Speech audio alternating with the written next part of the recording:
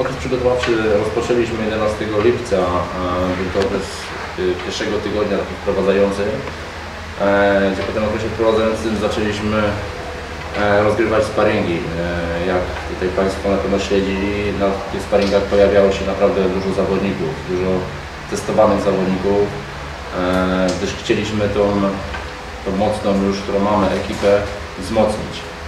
Na sparingach pojawiali się zawodnicy młodzi i zawodnicy starsi. E, w większości może było tych młodszych zawodników, tych młodzieżowców, których, których nam brakuje, ale również chcieliśmy wzmocnić, wzmocnić, żeby ta rywalizacja wśród, tej młodzieży była naprawdę e, mocna.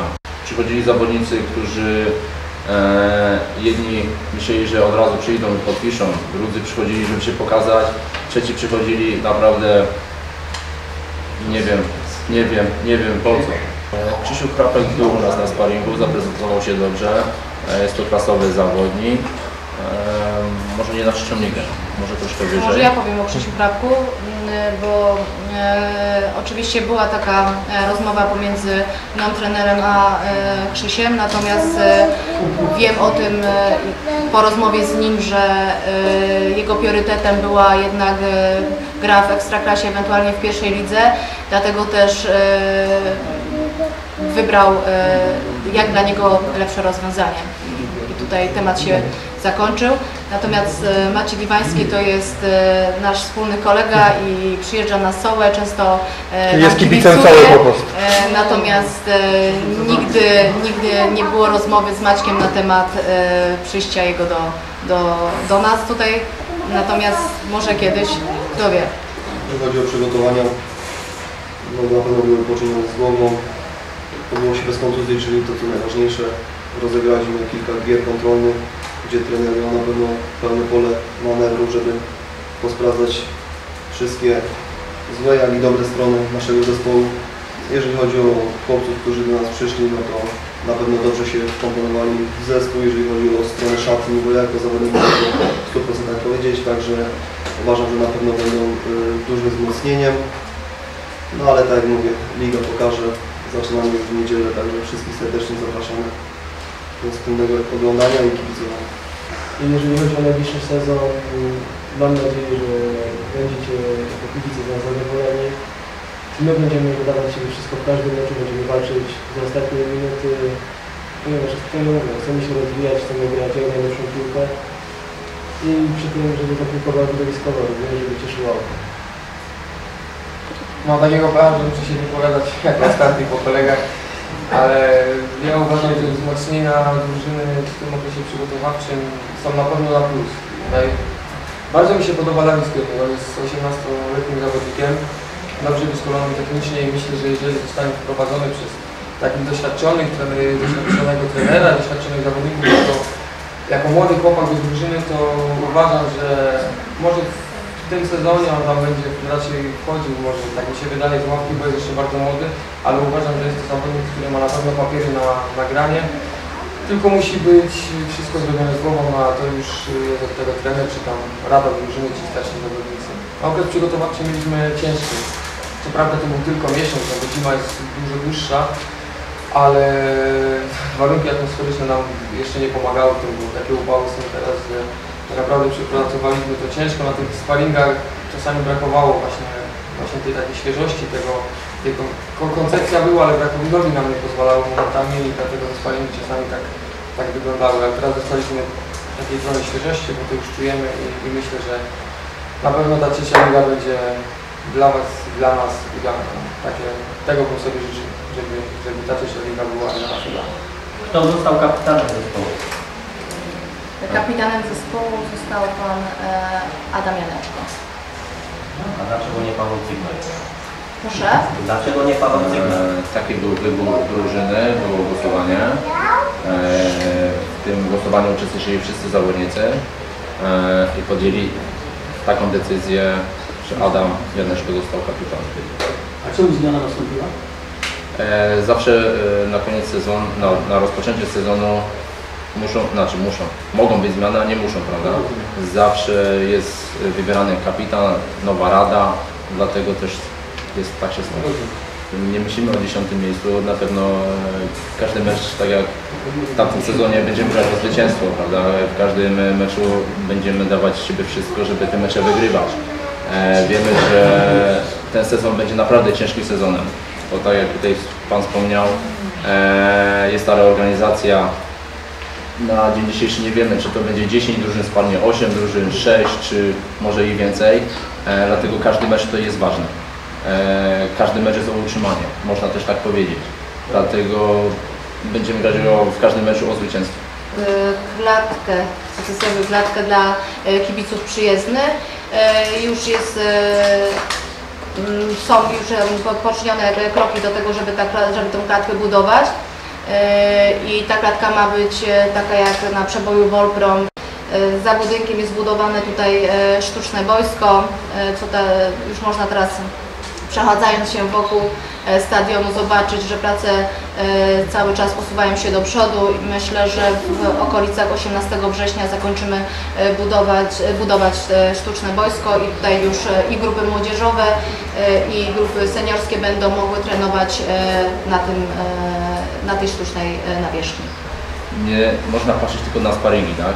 Pewne rzeczy budowaliśmy od początku, pewne rzeczy znaliśmy, wiedzieliśmy jak uczynić. Dlatego, tak jak tutaj kolega Paweł e, odpowiedział, wszystko zweryfikuje boisko, weryfikuje trzecia liga. E, Akurat jeżeli chodzi o drugą drużynę, to również e, świętujemy awans tutaj do A-klasy, e, z czego im z całego serca gratuluję. I tutaj celem postawionym drugiej drużynie jest również awans do Ligi Okręgowej. Pierwsza drużyna ma cel pierwsza piątka, natomiast druga drużyna ma cel awans. Myślę, że, że tutaj będziemy e, świętować i tyle. A czemu nie ma tego ciśnienia, żeby był awans pierwszej drużynie? To znaczy, jeżeli ja mogę powiedzieć, e, nie Pani Prezes, e, czy nie ma ciśnienia. Grając w tym klubie jest cały czas ciśnienie. Ale jest E, cel 1 do 5, także no... To znaczy, ja powiem tak, jeżeli jak przychodziłem tutaj do A-klasy, od pierwszego meczu było ciśnienie. W piątej lidze było ciśnienie, czwartej lidze było ciśnienie. I zapewniam, że tutaj w trzeciej lidze też jest ciśnienie. Jeżeli Pani Prezes powiedziała, że jest to 1-5, niech będzie 1-5, ale tu jest ciśnienie na każdym meczu. Nie ma czegoś takiego, że my czegoś nie chcemy, tylko tutaj w każdym meczu jest ciśnienie. Ponieważ z jednej strony Was przyzwyczailiśmy do, do tych awansów, do wygranych meczy, ale musicie też zrozumieć, że to już jest troszeczkę też wyższa liga, tak? Inna kultura gry. E, te porażki się gdzieś tam na pewno będą pokazywać. Ale tutaj ciśnienie jest na każdym meczu. są pewne wymogi e, drugoligowe, my pomalutku się musimy do tego przygotować.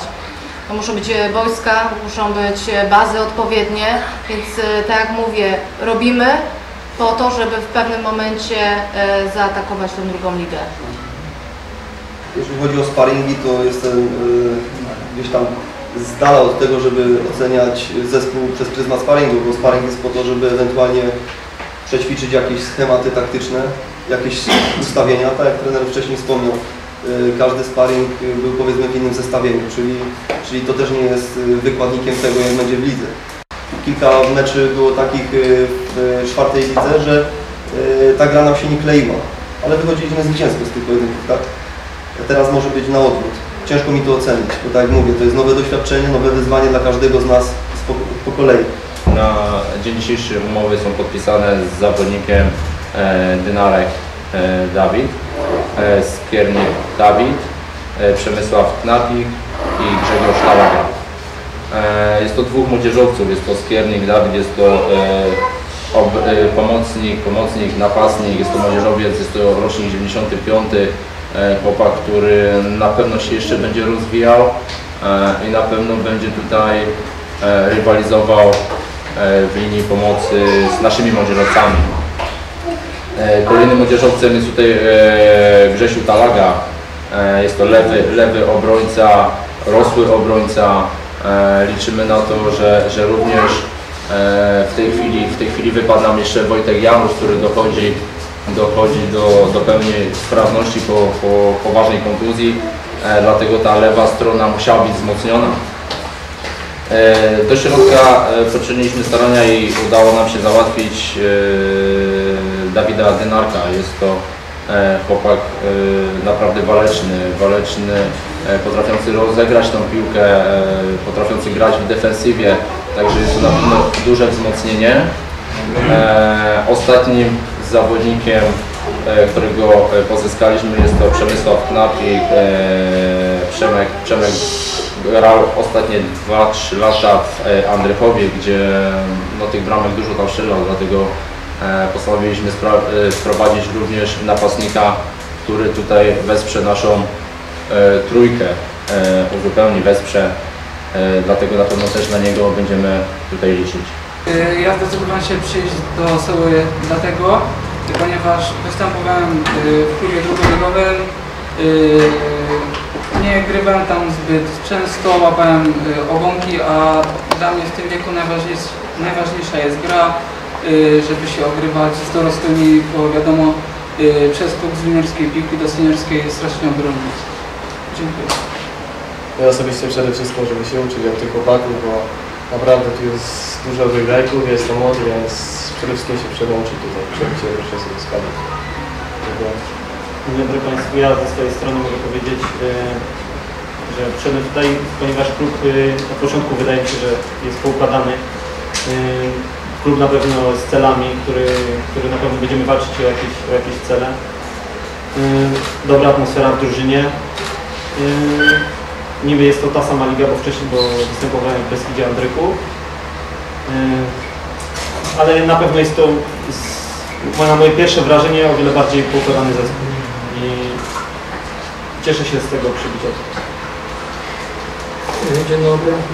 Ja wybrałem Stołę z tego względu, że jak dobrze wiadomo pochodzę z Bierunia, to chciałem w jakimś tam stopniu y, wrócić tutaj y, do, do y, swoje, strony. Y, Temat Soły nawinął się już w, y, w, połowie rundy wiosennej. Y, Pani prezes tu do mnie dzwoniła kilka razy. Wybrałem z tego względu Sołę, że jak dobrze wiemy, no w Oświęcimiu poza hokejem no to jest taki głód sportowy, no bo poza hokejem to nie ma, tak, nie ma ta piłka jednak kulała zawsze, prawda?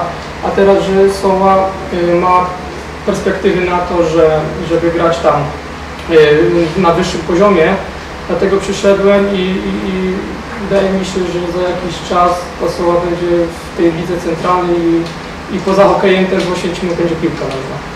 23, z numerem będzie. Witamy w Sole.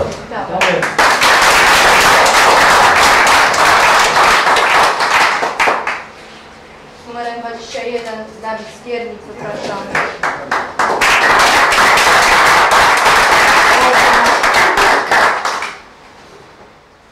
Z numerem 17 Knapik Przemysław.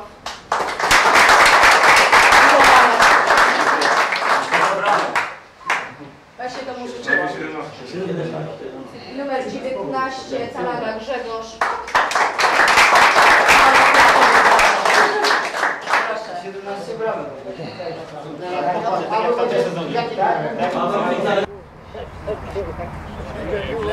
Proszę.